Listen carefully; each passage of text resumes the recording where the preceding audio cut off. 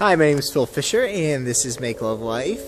Today, I went to an aquarium in Denver, downtown Denver. It was pretty awesome. Uh, it was like 18 bucks, and it started off really kind of boring. And we're just kind of like, okay, this better be cooler than this. Otherwise, it was a waste of money.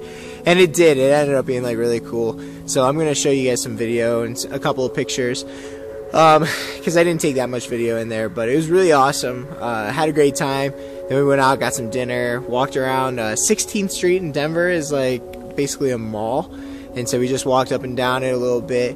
Went to the airport, picked up our friend, came back home. We're gonna watch Oz. Um, it's not the Wizard of Oz, but it's Oz. It's like apparently like a creepy film, creepy rendition of it. So I don't know. It'll be interesting but yeah, so um, I've decided that I'm I'm I'm gonna be trying to come home basically, um, like as soon as I can. Like I still have a couple more stops just to break up my trip on the way home, but I'm just really missing home, and I just really want to be home so bad.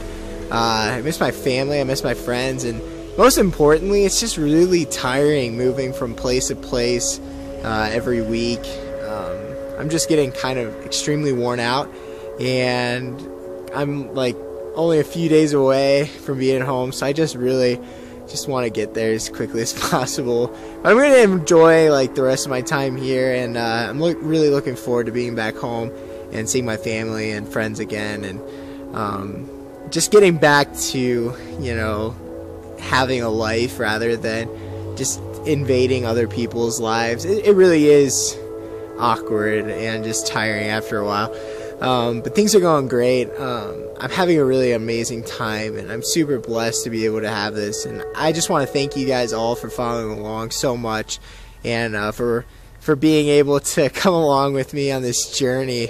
It's truly been awesome. And don't worry, I will tell you guys exactly where Make Love Life is going to be going soon. Um, but I wanted to wait until the end of my journey to kind of capsulate everything that I've learned and thought about the entire time. So I love you guys, and I hope you had a wonderful day and a wonderful night.